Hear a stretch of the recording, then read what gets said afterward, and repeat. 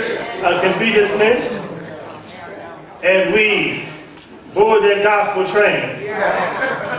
If you're here today and you have children about the age of these little kids right here, you can, you can allow them to go out and in the foyer. The attendants are there to receive them and to take them to our children's worship, a worship that is designed to minister them, minister to them the Word of God on a level that they can understand and appreciate.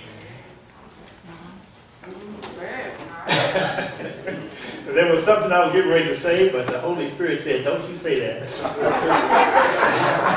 Sometimes you need the Word of God just to reel you. But as we uh, uh, prepare for this message today, I want to begin by just expressing um, to all of you my appreciation uh, to you for being here not only on today, but a special accommodation I think needs to go out uh, to uh, the Dorcas Ministry. The Dorcas Ministry is a ministry, and you can give it up for the Dorcas Ministry.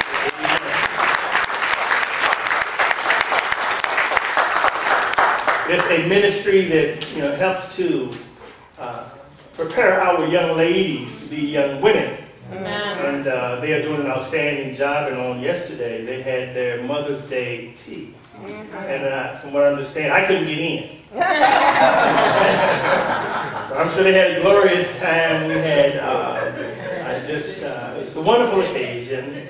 And then also, I, while I'm here, before I move into my message, I also want to say that even though we had a full day on yesterday, uh, many of the ladies of this congregation went and participated in the IU, the Komen um, uh, breast tissue sample donation. And, and, and those who facilitated that uh, organization just wanted to give a special shout out to the Line Street Church uh, for our participation in that. And not only that, as you know, we had, they had a town hall meeting uh, recently, and Line Street was the facility uh, that housed that town hall meeting. So uh, the efforts that you made um, during that meeting and even on yesterday went a long way toward making the overall event an overwhelming success. So I just want to give a shout out uh, to all of you who participated in whatever facet of that ministry, and especially for those Dorcas ladies. Uh, we really appreciate all the efforts. And then all of you who came and supported our young ladies,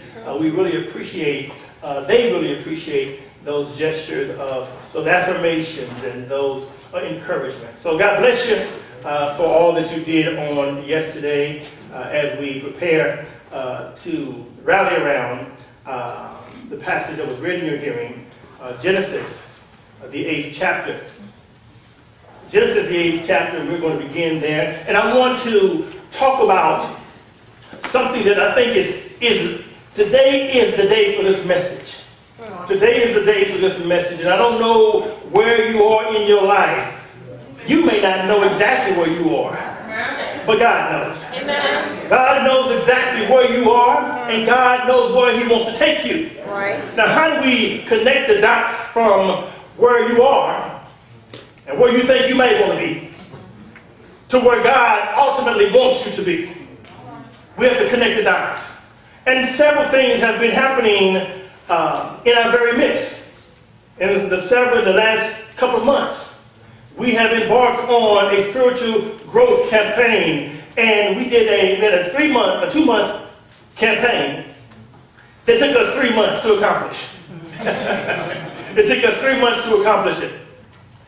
Now, as we embarked upon this quest to, to understand and to cooperate with God's plan, Notice I said with God's plan for our spiritual growth.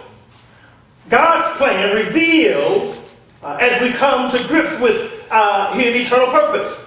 You cannot understand God's plan uh, for your life in its fullness unless you are able to embrace the overall eternal purpose and plan of God.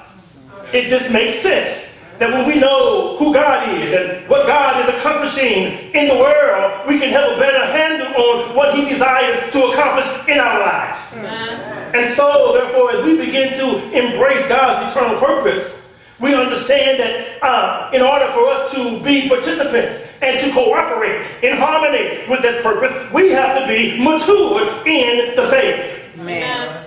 And so therefore, we, as we embarked upon this spiritual growth campaign, we began to say that spiritual growth, number one, was incarnational. Remember that? In other words, spiritual growth, the goal of spiritual growth is for us to be more like Jesus. In other words, the incarnation of Christ in us. Colossians chapter 1 and 20 and 28 talks about Christ in you, the hope of glory.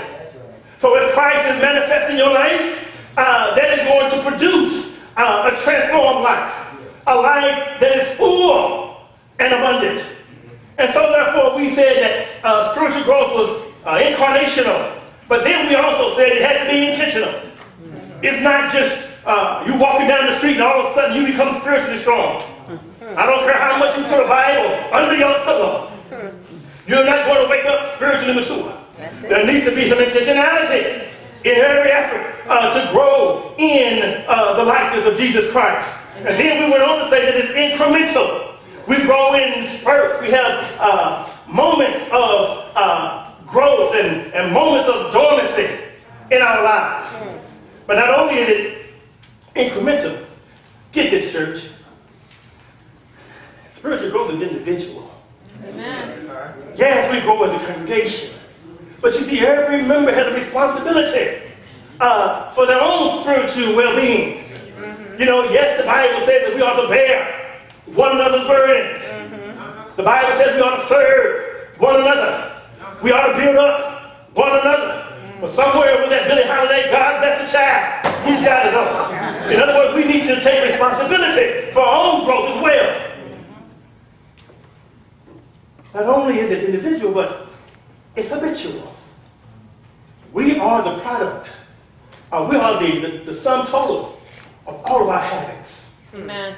You see, as you develop habits in life, you then begin to uh, develop a pattern of how you address and deal with circumstances right. that confront your life.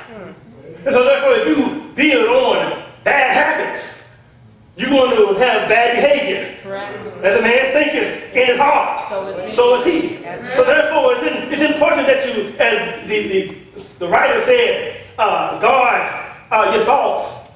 Because they become your words, and Amen. guard your words because uh, they become your, your, your actions, and guard your actions because they become your habits, and guard your habits because they become what? They become uh, your, your, your, your lifestyle. Right. And then that begins to shape your character, which ultimately will determine your destiny.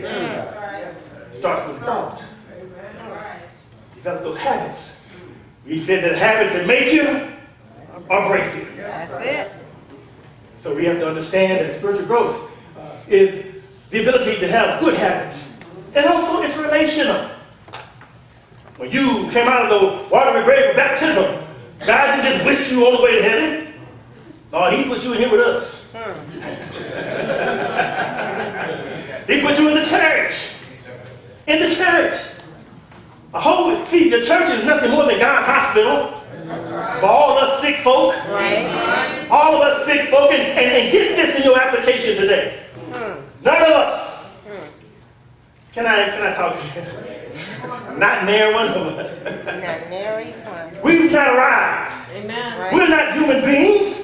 We're human becoming. God is not through with you yet. Right. God is not through with me yet. Right. So therefore, He puts us together in relationships, and it's in the context of relationships that iron sharpens iron. So one man lifts the countenance of another. It's in the context of relationships where we learn how to uh, engage in those 58 uh, one another passages. You can't love one another by yourself. Right. You can't build up one another. he put you in a church. So we can then develop the key essential relationships that move us forward, spiritual growth and maturity. Hmm. And then spiritual growth is multidimensional. We are a total person. Amen. Mind, body, and spirit. That's right.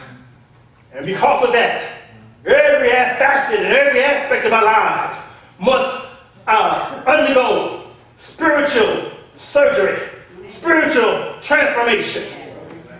And then we we paused. We paused in our study. And we added something very vital to the actual, the practicality of those messages. We began to talk about financial stewardship. Uh-huh. to the glory of God.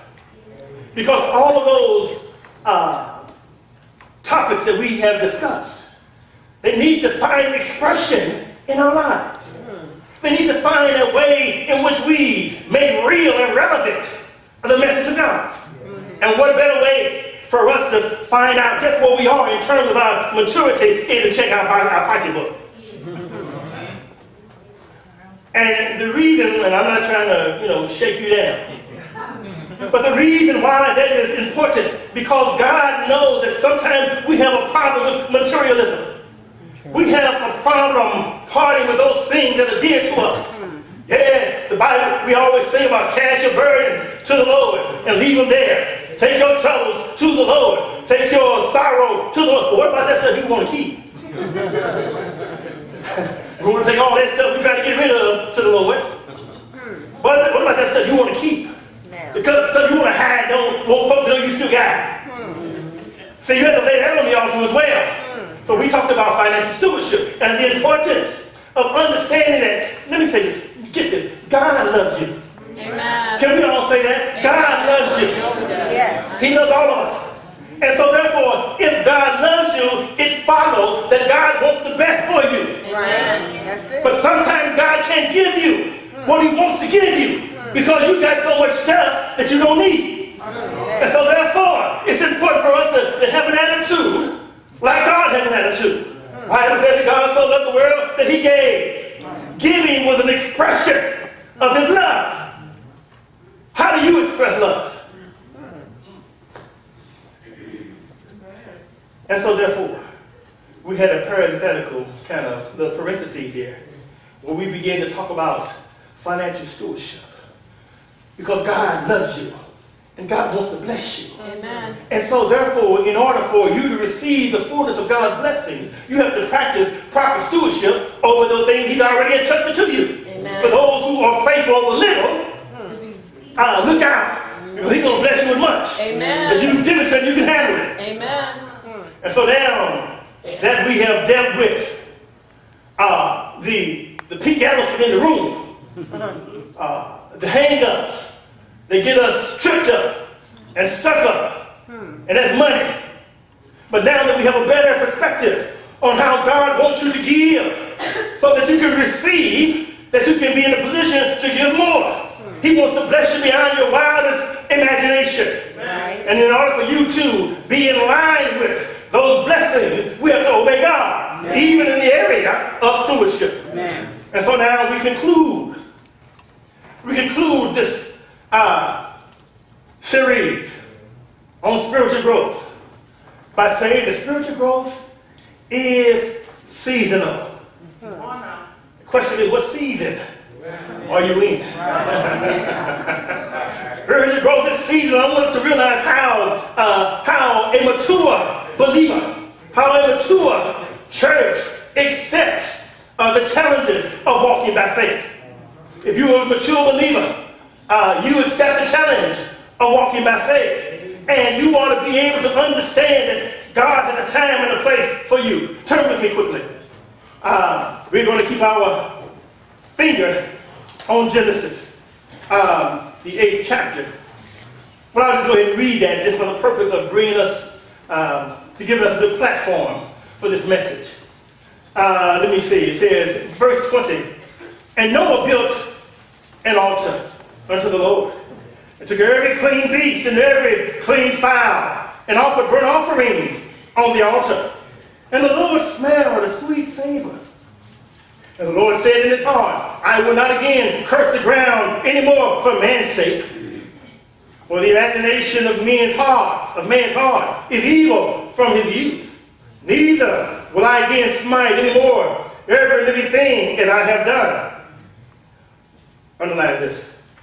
While the earth remains, seed time and harvest, cold and heat, summer and winter, and day and night shall not cease. I invite you to turn with me now to the third chapter of the book of Ecclesiastes.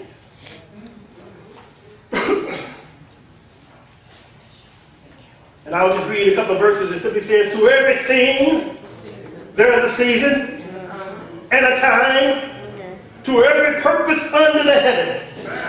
A time to be born and a time to die. A time to plant and a time to pluck up that which is planted.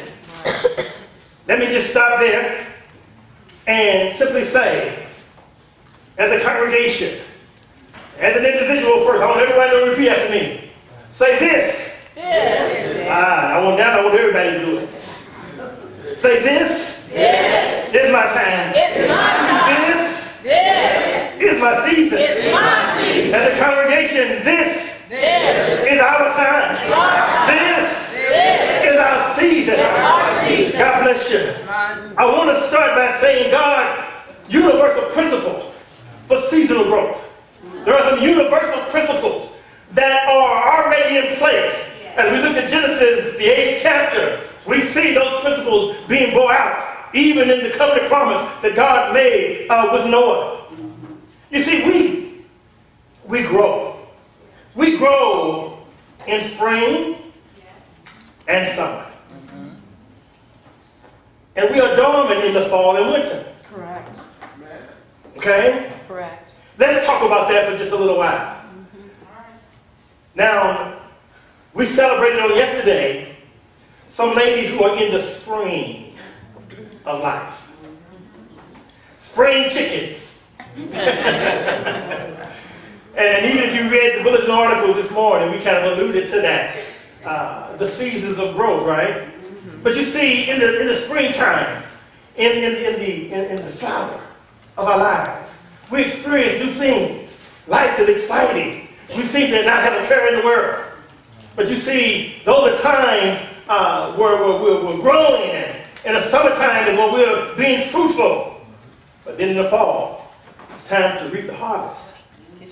Then we begin to be dormant for the next cycle. But you ought not to be in despair over the fall and the winter. See, because sometimes we look at the spring and the summer when, when growth is taking place and everything seems to be vibrant and, and robust, and then we begin to mistakenly think that because we are in the wintertime, that we're dead. Hmm. See, dormancy does not mean death. That's right. Let me say this. You see, in the in the fall, when the leaves fall off the tree, it's really making room For the next. for new growth. That's right. Deeper still, notice in the wintertime, when it gets cold, see, folks in California don't know about this. No, we don't. But you see, in the wintertime, when it gets cold, and that's when the roots, That's right. see, the, the, the root system, it goes deeper mm-hmm. and deeper. finding new sources of, of, of nutrients and, and nourishment. Mm. And the deeper the roots, the stronger the tree. Amen. See, when you're in the wintertime, mm-hmm. in that dormant, see, God is still busy. He's busy. You may not see the external Right. manifestations of His work, Right. but He's still working. Now, know this. Sometimes in your life, when everything seems to, Say uh, that. you haven't seem to, to get a handle right. on how you're going to practically Exactly. understand and manifest Preach all of. God's blessings in your life. But you see, that's when you got to take inventory of yourself. when How do you know what God is doing when That's you don't see anything going on? Amen. That's when you need to be uh, in your prayer closet with God. Sometimes circumstances and situations will force you to go into that special He is taking your root system deeper. He is giving you deeper uh, Yes, nutrition and nourishment. Yes, he does. Communion with God. Yes, he does. Understand what season you're in.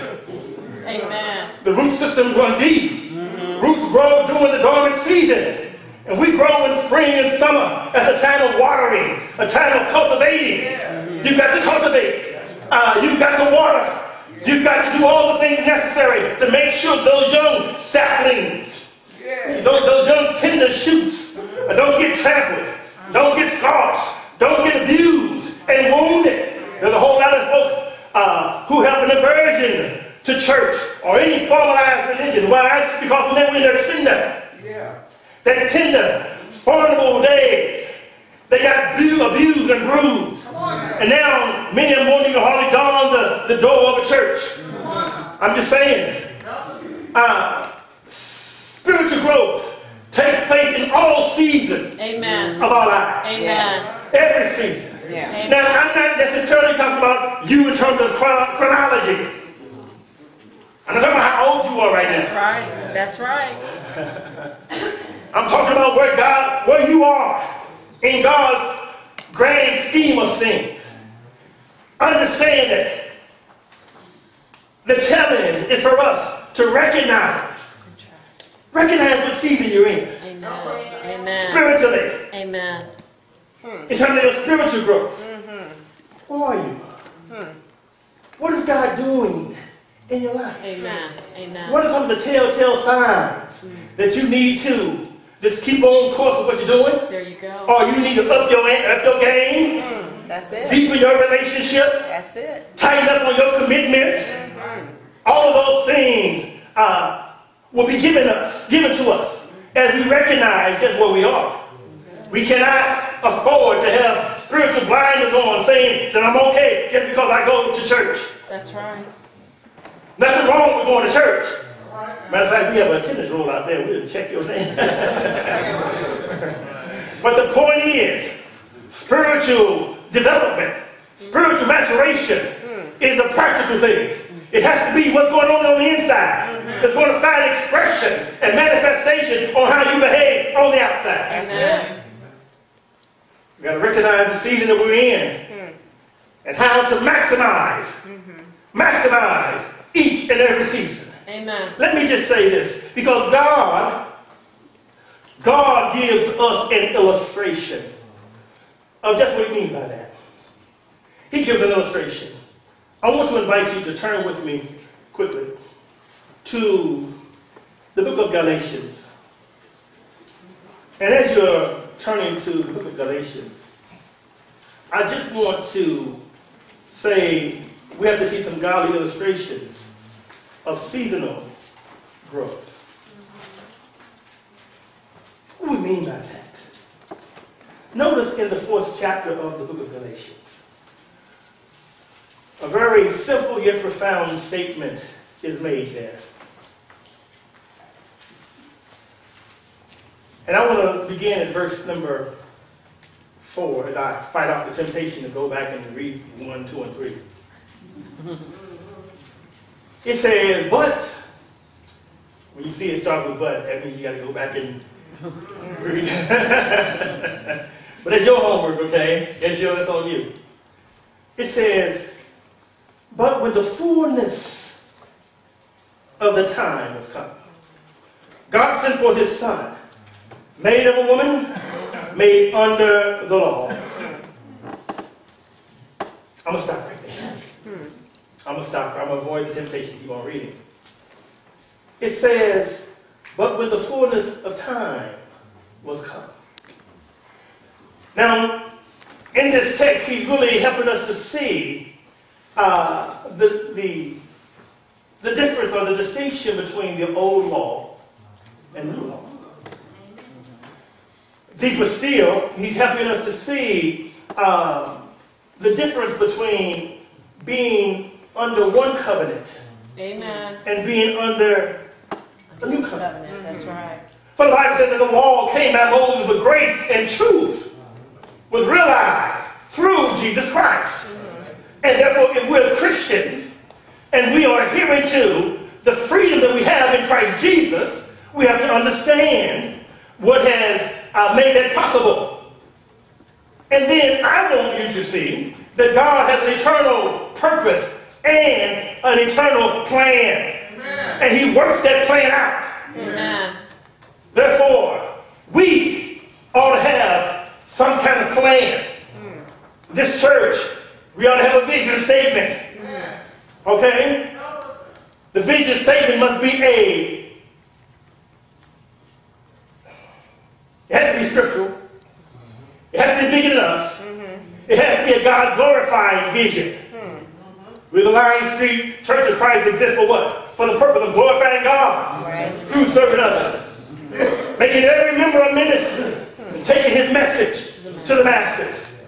Now, how do we actualize that? Well, when the fullness of time has come. This idea of fullness of time, uh, the full time appointed by who? By the Father. The completion or the filling up of a designated period that he had already orchestrated in the mind of God. Why then, why is it that as soon as Adam and Eve sinned, Jesus didn't come? Man needed a Savior right then and there, right? Why is it that it took thousands of years of human history to unfold before Jesus came? See, this passage we we're talking about has everything to do with the advent or the coming of Jesus. Uh, the Son of God coming, uh, invading uh, humanity for the purpose of fulfilling the redemptive purposes of God. And so, notice the fullness of time had come. This time that had been designated uh, uh, by God, the period for the coming of the Messiah. A lot of stuff took place between Adam's sin and Jesus' death on the cross. I think sometimes we wonder why it takes so long to get a certain vaccine that can cure a certain disease. And millions and millions of people had to suffer and die before uh, that was discovered. Now, I don't know. I don't know. I can't answer this question for you today. I can try to wax philosophical and all that kind of, but I can't tell you what took so long. Because God said it didn't take long at all. It was right on time. According to his plan. That's it. See, sometimes your time doesn't sync up with God's time. But today we need to declare this is our time. Because we are now walking in lockstep with God's timing. It took all that time. But what was happening? What was happening? It was uh, just the time when all the prophecies centered around Jesus uh, were now widely known to everyone. That there could be no doubt that Jesus was indeed the fulfillment of this prophecy. Everything about Jesus, every prophecy about Jesus was fulfilled in real time through his life and ultimately his death, burial, resurrection, and even ascension back to glory. Amen. All that stuff had been prophesied. And then therefore it had to be rolled out. It was proper that the world would be brought to see the need for a Savior.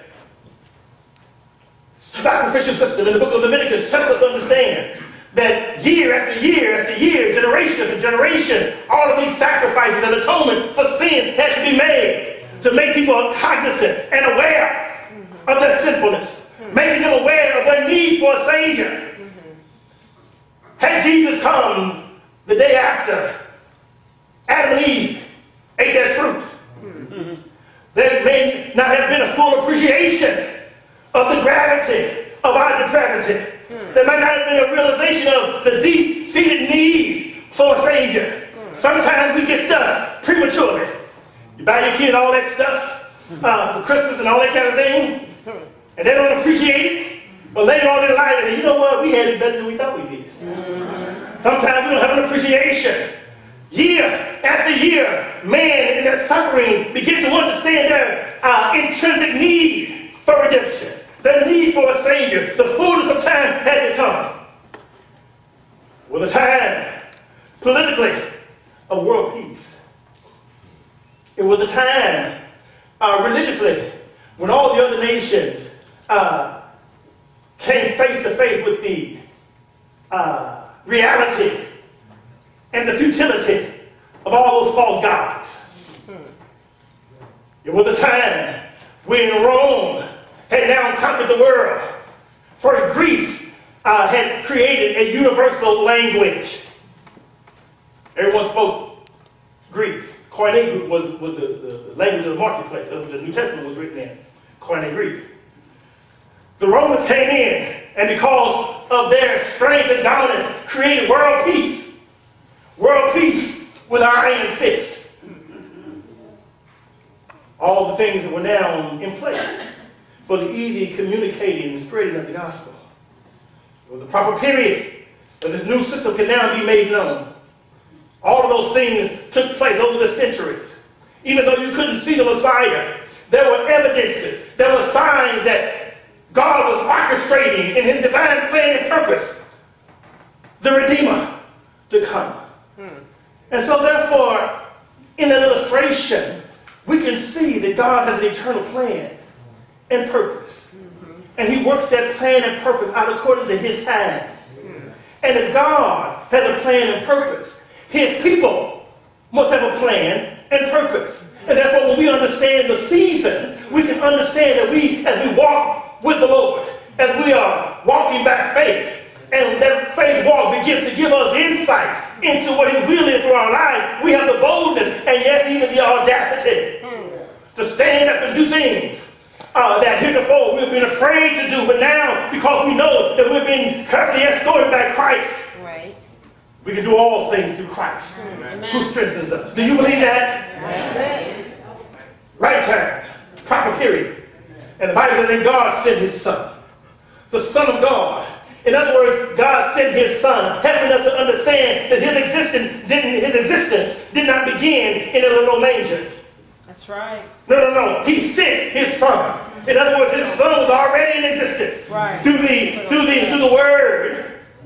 The word Bible says in John, the first chapter, and the word did what? Became flesh. Right. The presupposition that the word had already existed with God and was God. All things were created by him. Without him there was nothing made that was made. And so he sent forth his son. But he goes on to say, made of a woman. Made of a woman. In other words, human nature. Human nature.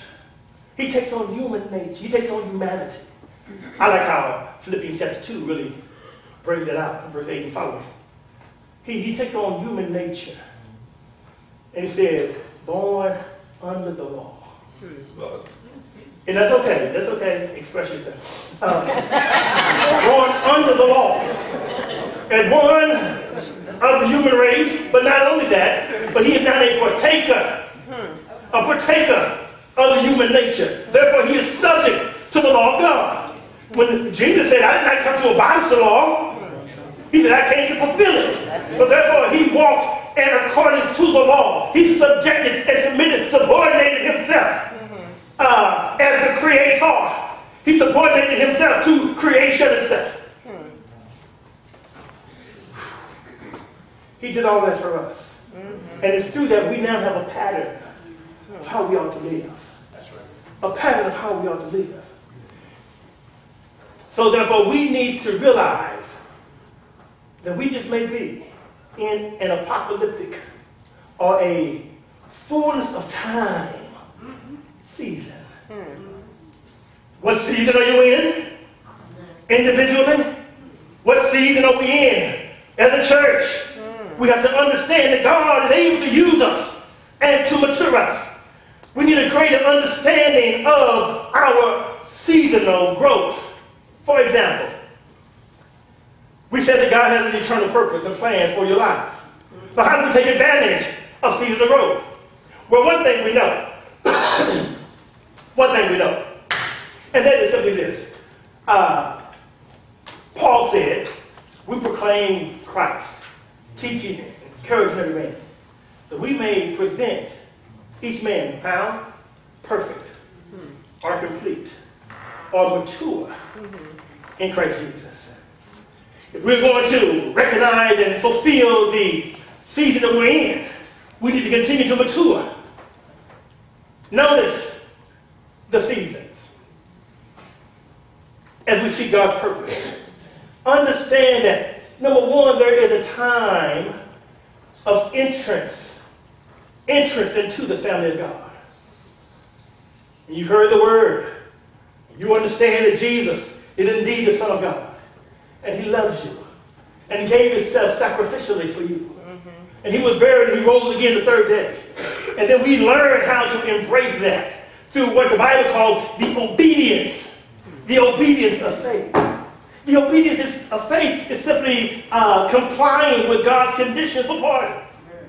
So therefore, we hear the word, we believe it, and it calls us to repent of our sins, confessing Him as, as Lord, and being buried in the watery grave of baptism for the forgiveness of your sins.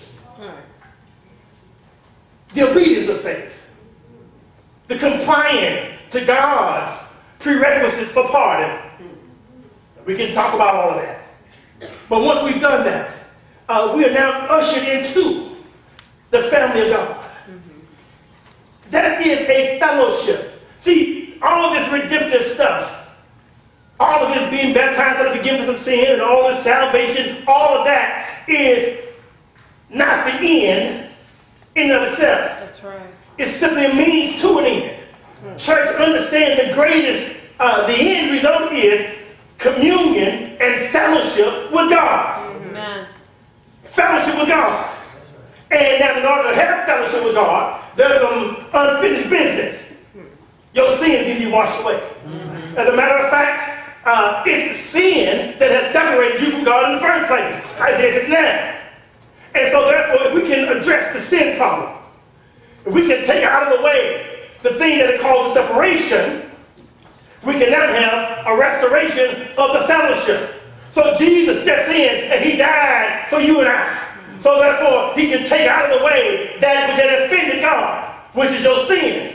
And because the sin being washed away, now we can have fellowship with God. And so therefore, when we come in to the uh, community of faith, the family of God, we now have membership that's redemptive.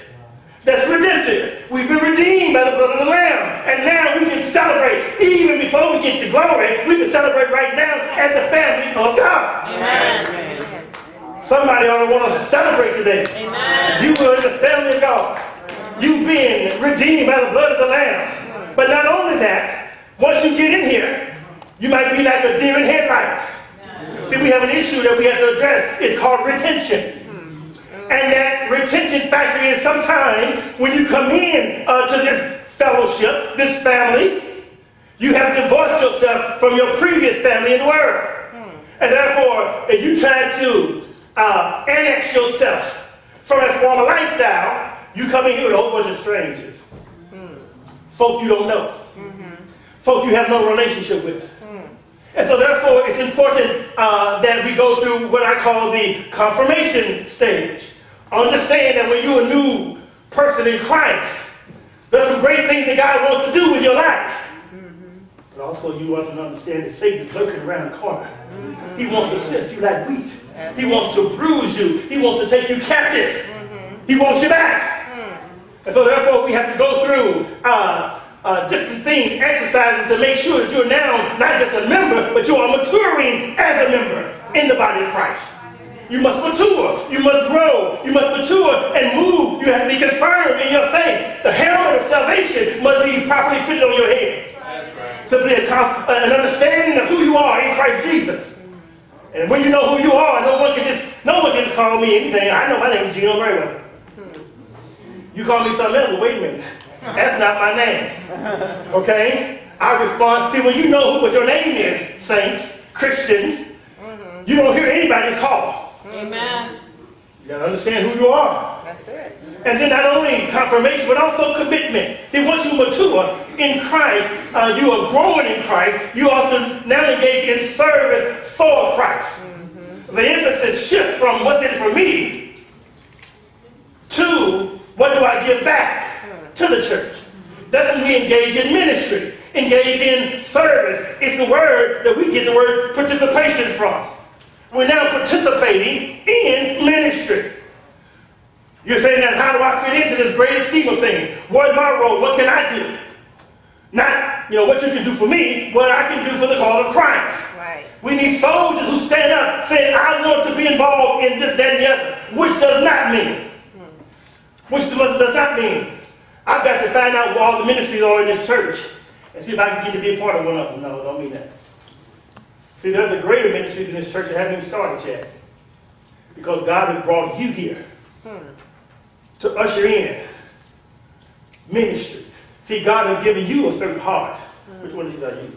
He given you a certain heart and compassion that you may be able to bring to the table what God has implanted in your heart, in your spirit, your purpose, what God wants to do in your life. And so therefore we come in and we begin to serve. And then not only do we have commitment to God's purpose, but also a commitment to discipleship. This is a phase we call a leadership stage, where you're now uh, investing your life into the lives of others. You're now helping other people to mature. You're now walking with people and encouraging people and uh, helping them to see Christ in you, in your everyday experience. Amen. Leadership. You go out now, you're a soul winner. You're now understand and appreciate the fact that you've been saved. And you don't just sit around here being saved. You now go out and try to affect the salvation of others. Amen. That's when we know that you're mature. You see, uh, maturity, a sign of maturity is what? The ability to reproduce. When a, a, a tree matures, it begins to produce fruit. So, yes, we understand there is the fruit of the Spirit in Galatians chapter 5. So we do need love and temperance and uh, brotherly kindness and all those kind of things. But see, when the fruit of the Spirit manifests itself in your life, there is another kind of fruit that Jesus is interested in. For he said the Son of Man came to seek and to save that which is lost. In other words, we now need to bring fruit into the kingdom. We need to bring, uh, as God has perfected us, now we let our light shine before men as a draw to God. And so there are several ways that we can do that in a very, very practical way. Uh, we've just, the last 30 days, we've been at financial stewardship campaign. We need to have a campaign. How do I love my church campaign? how what we just talk about how we show greater love for the church. Nothing wrong with that. How we love our community uh, campaign. How do we first experience cam- a community within our midst? And how does that feeling and sense of community within our ranks manifest itself in greater community abroad? We have Bible for that. Bible says they were praising God in heaven, faith with all the people. Not just themselves, but all the people. And as a result, the Lord gave them an apocalyptic moment. He gave them a fullness of time episode, a time of great gathering. Fullness of time can take place in your life. Fullness of time can take place in the life of this church, where God begins to open up the doors and, and, and then people begin to stream into this fellowship. Why? Because we are manifesting the fruit of our spiritual maturity. And finally, not only do we have campaigns, 40 days of love, 40 days of purpose, you know, days of community, all of those kind of things, different things we can do. But recognize this. All of those things can be just window dressing unless we allow the transformative Spirit of God in us to have full sway in our person. I believe, I believe that God is doing something in this church. I, I, I, and I'm, I'm, I'm almost willing to wager that some of you believe the same thing. That God is doing something. He said, I want to do a new thing. I want to do something. You know, God said, I want to blow your mind. He said, I want to do something that you have to attribute to me. See, let's, let's move away from just doing stuff that, that we can do. We have to begin to take a bigger shovel and dig deeper and endeavor to do the things that we cannot do unless God be with us. And when you begin to try to take a bigger bite of the apple, when you begin to endeavor to do greater things for the Lord, mm-hmm. don't you know that increases your faith? Mm-hmm. It sends your root system deeper. Hmm. Your dependence system goes deeper. For I know that I can't do this without God. And, and I remember one time we was at a business meeting way back, way, way back in the day. We were in the business meeting and we were talking about some situation that we didn't know what to do. We was all just talking about, you know, like a pool of ignorance. Well, we can do this, we can do this. Uh-huh. And then somebody said, well, let's pray about it. That's the least we can do. At least we can pray about it. Sounds very practical. This old brother stopped the meeting. Stop! That's not the least we can do. Yeah, that's the most we can do. Amen. That's the see, sometimes we use prayer as you know last resort. Well, it didn't work. Let's go pray. And we say, "No, no, God." No, no. When you are in tune with God, hmm. your communion with God is first and foremost. Mm-hmm. That's where you get your battery charge. That's it. It? I think it's interesting. This was not a slip of the pen when they wrote the Bible. The Bible said that early in the morning, while it was yet dark, hmm. Jesus would, would get away from everybody and go to a solitary place to pray. And Jesus would say some very profound stuff. Mm. He did some, some bold stuff. But before he did that, he was always in communion with his Father. Mm-hmm. Many times folks didn't understand where he was coming from. Mm-hmm. He said, you may have to, you want to follow me, you have to eat of my, eat of my flesh and drink my blood. That's right. People got an attitude about that stuff. Wait, wait a minute, where, where, where you going with that? I'm just saying, he was in communion with the Father. He was in communion with the Father. And those who followed him and knew him said, Lord, to whom shall we go? We know that you have the words of eternal life. He didn't go try to rally all the other folks to come back. You know, I watered down my message for no. It is our goal to help each member to realize and to embrace and then even progress through your season. We're all in the season. You may be in the springtime. You may be in the summer. You may be in the autumn where everything seems to be falling. You may be in the winter when you are in a season of dormancy. You may think all is over, everything's over because you're dormant. God is still working in your life. Always. God wants to do a good thing. God wants to do an amazing thing in your life. Many times, uh, because of our failure to recognize the season, season pass. Seasons of harvest pass with the fruit riding on the vine. Because we have not recognized the season that He's placed us in. Oh, but when you recognize it, mm. we're able to bring in the sheaves, bring in the harvest. Mm-hmm. All this is to assist us, to assist you in grasping the opportunity within your season of growth. What season are you in? How do you recognize what season you're in? What does God want to do in your life? Make this thing personal. What is God wanting to do in your life?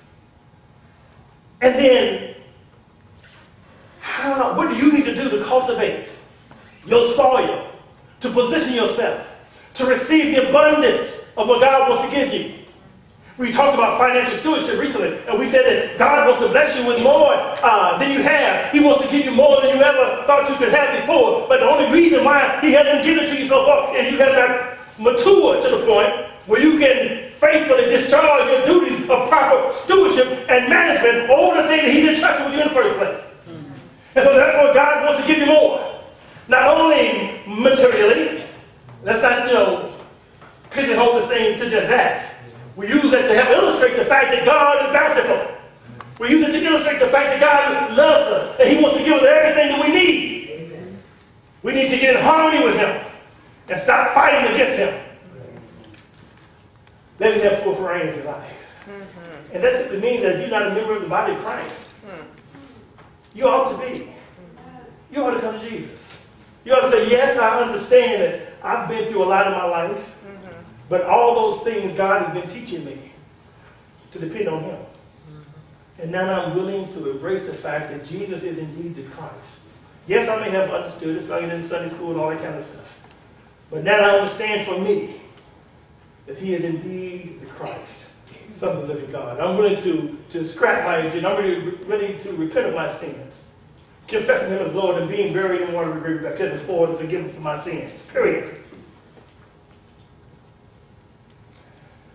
If you've been coming to this church, we are so glad to have you.